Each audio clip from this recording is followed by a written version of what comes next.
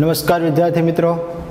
કૃષ્ણ કન્યા વિદ્યા સંકુલ, કુંદરણ તેમજ શ્રી વિવેકાનંદ વિનય મંદિર તાલાડાની યુટ્યુબ ચેનલમાં આપ સૌનું હાર્દિક સ્વાગત છે. હવે આજના લેક્ચરની અંદર આપણે ધોરણ દસની અંદર જે પાંચમા ચેપ્ટરનો અભ્યાસ કરીએ છીએ, તત્વનું આવર્તી વર્ગીકરણ. હવે આ ચેપ્ટર છે એ પૂર્ણતાને આરે છે. હવે આપણે આ ચેપ્ટરની અંદર આ છેલ્લો ટોપિક છે એ ભણવાનો છે. કારણ કે આપણે ગયા લેક્ચરની અંદર એક અગત્યના ગુણધર્મ છે, એની વાત છે કરી હતી કે તત્વ છે, એના પરમાણીય ત્રિજ્યા છે, એની આપણે વાત છે કરી હતી કે એક જ આવર્તની અંદર તમે ડાબી બાજુથી જમણી બાજુ જાઓ, તો પરમાણીય ત્રિજ્યામાં શું ફેરફાર થાય? એમ જ કોઈ સમૂહની અંદર ઉપરથી નીચે આવો, તો પરમાણીય ત્રિજ્યાની અંદર શું ફેરફાર થાય? એની ચર્ચા છે, એ આપણે બારમા લેક્ચરની અંદર કરી ગયા છે. હવે આજના લેક્ચરની અંદર આપણે ત્યાર પછીનો અગત્યનો ગુણધર્મ, એટલે કે ધાત્વીય ગુણધર્મ છે, ધાત્વીય વલણ છે, એના વિશે વાત છે કરવાના છીએ. તો સૌપ્રથમ પહેલાં આપણે જોઈએ તો કે કોઈ પણ તત્વ છે, એ કાં તો વિદ્યુત ધનમય હોય અને કાં તો વિદ્યુત ઋણમય હોય. મતલબ શું? કે મોટાભાગના તત્વ છે તો આપણને ખબર છે કે ઇલેક્ટ્રોન ગુમાવવાની વૃત્તિ ધરાવે છે. અને જ્યારે કોઈ પણ તત્વ છે એ ઇલેક્ટ્રોન ગુમાવે, તો ધનાયન છે બનાય એને વિદ્યુત ધનમય તત્વ તરીકે ઓળખવામાં આવે છે. અને કેટલાક તત્વ છે, એ ઇલેક્ટ્રોન છે, એ સ્વીકારવાની વૃત્તિ ધરાવે છે. તો જે તત્વ ઇલેક્ટ્રોન સ્વીકારે છે, મેળવે છે, એ ઋણમય તત્વ તરીકે ઓળખવામાં આવે છે. એટલે કહેવાનો મતલબ મારે એવો છે કે આપણે જે અત્યાર સુધીમાં જે તત્વની વાત કરી છે, એ તત્વ છે, એ ધાતુ અધાતુ અને અર્ધધાતુ આ ત્રણ પ્રકારના તત્વ છે રહેલા હોય.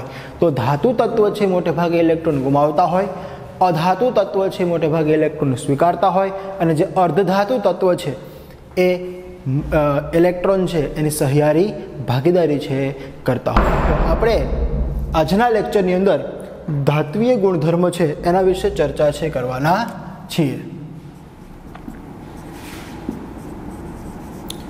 ધાત્વીય ગુણધર્મ.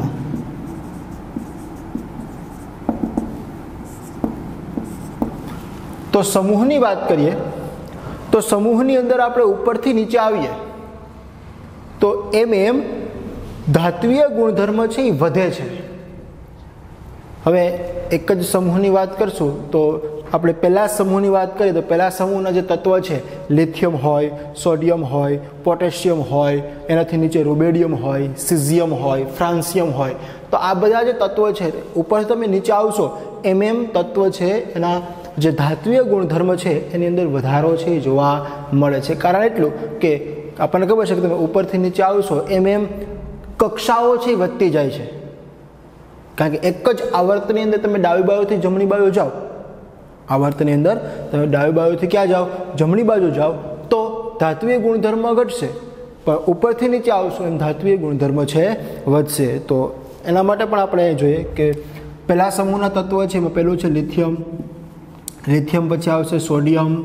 સોડિયમ પછી આવશે પોટેશિયમ. પોટેશિયમ પછી આવશે રૂબેડિયમ. સિઝિયમ. ફ્રાન્સિયમ. તો આ જે બધા તત્વો છે, આ પહેલા સમૂહના તત્વો છે. તો આ બધા તત્વો છે, એમ તમે ઉપરથી ક્યાં આવશો? નીચેની તરફ આવશો. એમ એમ ધાત્વીય ગુણધર્મ છે.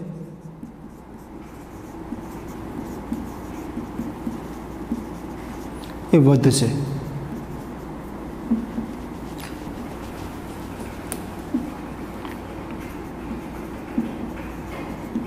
ઉપર તમે જેમ નીચે આવશો, એમ એમ ધાત્વીય ગુણધર્મ છે. એ વધતા જોવા મળશે. હવે આપણે અધાત્વીય ગુણધર્મની પર થોડીક વાત કરી લઈએ. કારણ કે આપણને ખબર છે કેટલાક અધાતુ તત્વો પણ છે. તો પહેલાં આપણે વાત એ કરશું કે ભાઈ અધાતુ તત્વ કોને કહેવા તો યાદ રાખશું કે આમ તો ખરેખર નામ ઉપરથી આપણને ખબર પડી જાય કે અધાતુ.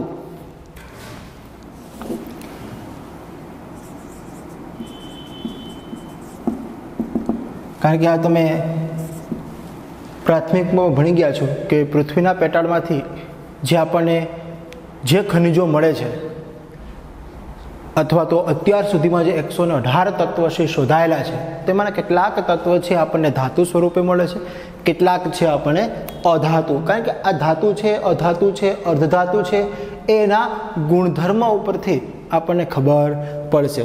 તો અધાત્વીય ગુણધર્મની આપણે વાત કરીએ તો અધાત્વીય ગુણધર્મની અંદર સમૂહની જો વાત કરીએ, તો એક જ સમૂહની અંદર તમે ઉપરથી નીચે આવશો, એમ એમ. અધાત્વીય ગુણધર્મ છે, એ ઘટતા જાય છે. અને આવર્તની વાત કરીએ, તો ડાબી બાજુ તમે ક્યાં જશો? જમણી બાજુ તરફ જતા હશો, એમ એમ. અધાત્વીય ગુણધર્મ છે, એ વધે છે. હવે એ વધે છે એની પાછળનું કારણ શું? તો કે એક જ આવર્તના જે તત્વ છે, આ તત્વ છે એની અંદર તમે ડાબી બાજુથી જમણી બાજુ તરફ જશો, એમ એમ કેન્દ્રીય વીજભાર છે એ ઘટશે. અને કેન્દ્રીય વીજભાર છે એ ઘટવાને કારણે એના અધાત્વીય ગુણધર્મ છે એ વધતા જોવા મળે છે. એટલે કહેવાનો મતલબ મારો એવો છે, ધાત્વીય ગુણધર્મ અને અધાત્વીય ગુણધર્મ. તો ધાત્વીય ગુણધર્મની અંદર સમૂહમાં ઉપરથી નીચે આવશો, એમ ધાત્વીય ગુણધર્મ વધશે. ડાબી બાજુથી જમણી બાજુ એક જ આવર્તની વાત કરીએ તો એક જ આવર્તની અંદર ડાબી બાજુથી જમણી બાજુ જશો, તો એમ ધાત્વીય ગુણધર્મ ઘટશે. અહીંયા અધાત્વીય ગુણધર્મ, આ અધાતુ મેં લખ્યું છે, અહીંયા અધાત્વીય ગુણધર્મની વાત કરીએ.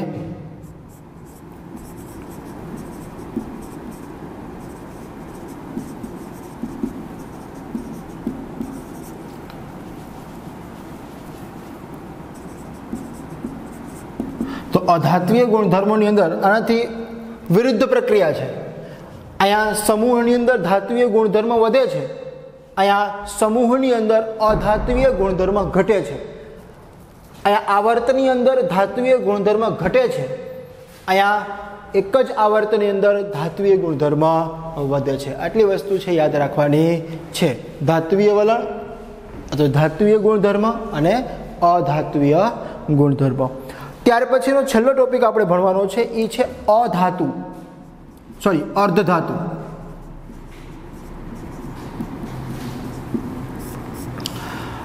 અર્ધ ધાતુ અથવા તો એને મેટલોઇડ તરીકે પણ ઓળખવામાં આવે.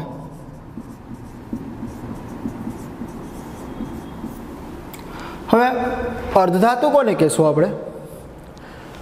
તો કે અર્ધધાતુ કોને કહેવાય? તો જે ધાત જે તત્વ છે, એ તત્વની અંદર કેટલાક ગુણધર્મ છે એ ધાતુના હશે. અને કેટલાક ગુણધર્મ છે અધાતુના. હશે એટલે બંનેના ગુણધર્મ નામ ઉપરથી આપણને ખબર પડી કે અર્ધ ધાતુ. અડધી ધાતુ તો અડધી ધાતુ હોય તો અડધું શું હોય? તો કે અધાતુ. તો એનો મતલબ એવો થયો કે આ જે અર્ધ ધાતુ છે, મેટલોઇડ છે, એની અંદર કેટલાક ગુણધર્મ છે એ ધાતુના હશે અને કેટલાક ગુણધર્મ છે એ અધાતુના હશે. એટલે આ બંનેના ગુણધર્મ ધરાવતી જે ધાતુ છે એને અર્ધ ધાતુ તરીકે ઓળખવામાં આવે છે. તો તમારી ટેક્સ્ટબુકની અંદર જે આધુનિક આવર્ત કોષ્ટક આપેલું છે, એ આધુનિક આવર્ત કોષ્ટકની અંદર એક વાંકી ચૂકી ઝીક ઝેક રેખા છે આપેલી છે અને એ ઝીક ઝેક જે રેખા છે, વાંકી ચૂકી, એ અર્ધ ધાતુ તત્વો છે એ દર્શાવે છે. તો એ કયા તત્વો હશે? તો એની પણ આપણે થોડીક અહીંયા માહિતી મેળવીએ. તો તો એની અંદર જે ઝીક ઝેક રેખા છે એની અંદર પેલું તત્વ છે બોરોન. બોરોન છે, એનાથી પછી સિલિકોન.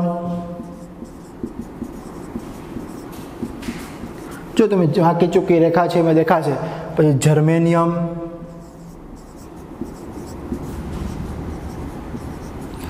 જર્મેનિયમ, પછી આવશે આર્સેનિક.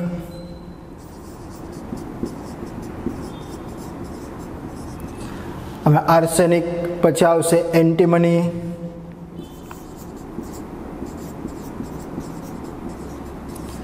એન્ટીમની છે, એની આવ નીચે આવશે ટેલ્યુરિયમ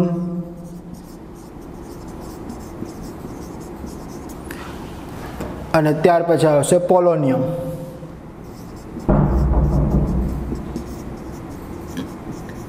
આ બધા જે તત્વ છે boron silicon, germanium, arsenic, antimony tellurium અને પોલોનિયમ. આ બધા તત્વ છે. એ કેવા તત્વ છે? કે અર્ધધાતુ તત્વ છે. મતલબ એવો કે આ બધા જ તત્વોની અંદર કેટલાક ગુણધર્મ છે એ ધાતુના છે અને કેટલાક ગુણધર્મ છે અધાતુના છે. એટલે બોરોનની અંદર પણ ધાતુ અને અધાતુ આ બંનેના ગુણધર્મો જોવા મળે. સિલિકોન છે, ઝર્મેનિયમ છે, આર્સેનિક છે, એન્ટીમની છે, ટેલ્યુરિયમ છે અને પોલોનિયમ છે. એ બંનેના ગુણધર્મ ધરાવે છે. કેટલાક ગુણધર્મ ધાતુના ધરાવે છે, કેટલાક ગુણધર્મ અધાતુના ધરાવે છે. એટલા માટે આ બધા તત્વો છે એને આપણે અધાતુ અથવા તો મેટલોઇડ તરીકે ઓળખવામાં આવે છે. ત્યાર પછી તમારા ટેક્સ્ટબુકની અંદર એક પ્રવૃત્તિ આપેલી છે. એ પ્રવૃત્તિની પણ આપણે જો વાત કરીએ તો જો, એની અંદર એવું કીધું છે કે કોઈ એક આવર્ત છે, તો એ આવર્તની અંદર તમે ડાબી બાજુથી જમણી બાજુ જતા હશો તો શરૂઆતની અંદર તમને ધાતુમય તત્વ જોવા મળશે અને છેલ્લે અધાતુમય તત્વ જોવા મળશે અને વચ્ચે ક્યાંક અર્ધધાતુ તત્વ છે જોવા મળશે. બરાબર?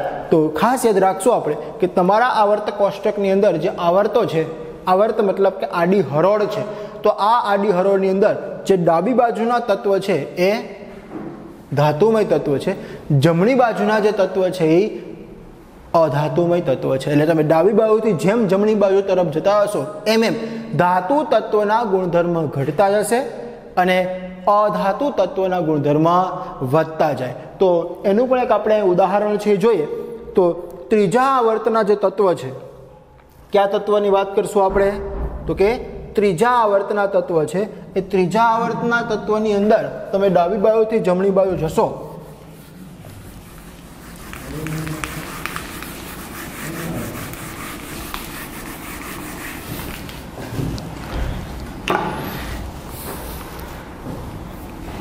આ લખું ત્રીજા આવર્તના તત્વ.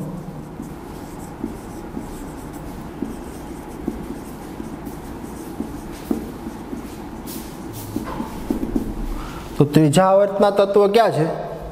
તો કે પહેલું તત્વ છે એન એ એટલે કે સોડિયમ, ત્યાર પછીનું તો કે એમજી એટલે કે મેગ્નેશિયમ, ત્યાર પછીનું તો કે એલ્યુમિનિયમ, ત્યાર પછી સિલિકોન, ત્યાર પછી ફોસ્ફરસ, સલ્ફર, ક્લોરિન અને આર્ગોન. આ કેટલામી આવર્તના તત્વો છે? તો કે ત્રીજા આવર્તના તત્વ છે. પરમાણુ ક્રમાંક અગિયાર, બાર, તેર, ચૌદ, પંદર, સોળ, સત્તર અને અઢાર. આ ત્રીજા આવર્તના તત્વ છે. હવે આ જે ત્રીજા આવર્તના તત્વ છે, તો આ ડાબી બાજુ છે અને આ જમણી બાજુ છે. તો તમે જેમ ડાબી બાજુથી ક્યાં જશો? જમણી બાજુ તરફ જશો, એમ એમ ધાતુ તત્વ છે એના ગુણધર્મ ઘટતા જશે અને અધાતુ તત્વ છે એના ગુણધર્મ વધતા જશે. એટલે ખાસ યાદ રાખશું આપણે કે આ જે ત્રીજા આવર્તના તત્વ છે, એમાંના જે શરૂઆતના જે ત્રણ તત્વ છે, એટલે કે ક્યાં ક્યાં? તો કે સોડિયમ, મેગ્નેશિયમ અને એલ્યુમિનિયમ. આ ત્રણ તત્વ છે એ ઇલેક્ટ્રોન ગુમાવવાની વૃત્તિ ધરાવે છે. કેવી વૃત્તિ ધરાવે છે? ઇલેક્ટ્રોન ગુમાવવાની વૃત્તિ ધરાવે છે. માટે એને આપણે ધાતુ તત્વ કહીશું. આ કેવા તત્વ છે? ધાતુ તત્વ. ત્યાર પછી જમણી બાજુના જે તત્વ છે, આ ચાર તત્વ. ક્યાં ક્યાં? તો કે પી એટલે કે ફોસ્ફરસ એસ એટલે કે સલ્ફર સીએલ એટલે કે ક્લોરિન એઆર એટલે કે આર્ગોન.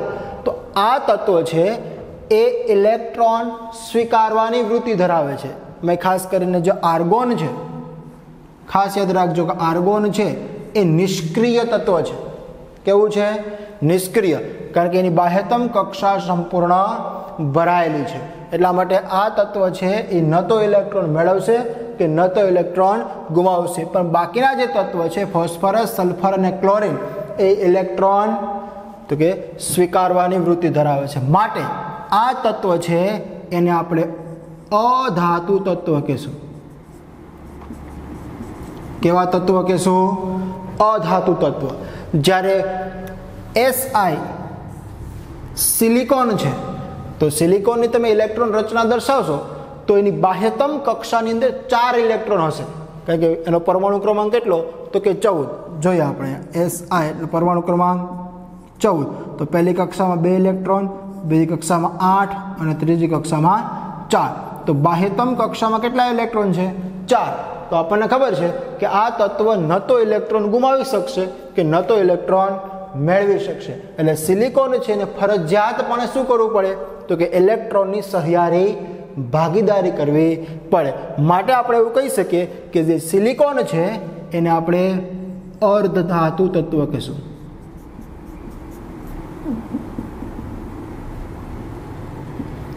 અર્ધ ધાતુ. ખાસ યાદ રાખજો કે જે તત્વ છે એની બાહ્યતમ કક્ષાની અંદર ચાર ઇલેક્ટ્રોનો છે. અથવા તો એમ પણ કહી શકાય કે સિલિકોનની અંદર કેટલાક ગુણધર્મ ધાતુના છે અને કેટલાક ગુણધર્મ અધાતુના છે. એવા જ તત્વો છે એને અર્ધધાતુ તરીકે ઓળખવામાં આવે છે. એટલે કોઈ પણ આવર્ત હોય તો આવર્તની અંદર શરૂઆતના તત્વ છે. એ પછી બીજો આવર્ત હોય, ત્રીજો આવર્ત હોય, ચોથો હોય, પાંચમો હોય, છઠ્ઠો હોય કે સાતમો હોય. એના શરૂઆતના તત્વ છે, આ શરૂઆતના તત્વ છે એ ધાતુ તત્વ હશે અને જે જમણી બાજુના તત્વ છે એ કેવા હશે?